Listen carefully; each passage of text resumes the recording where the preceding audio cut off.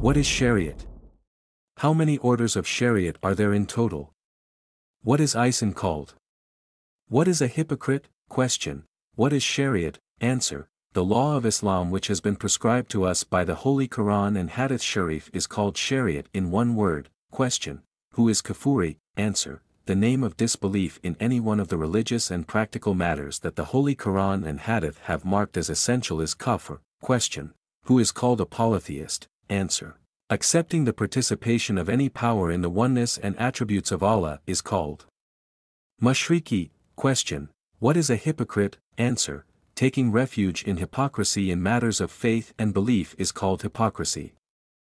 Question. What is fasaki? Answer. All the poets call participating in sin without hesitation a sin. Question.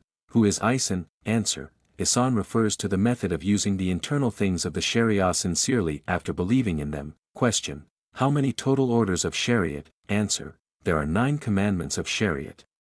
Namely, 1. Farj, 2. Wajib, 3. Sunnat, 4. Mustahab, 5. Nafil, 6. Halal, 7. Haram, 8. Makruh, 9. Mubah.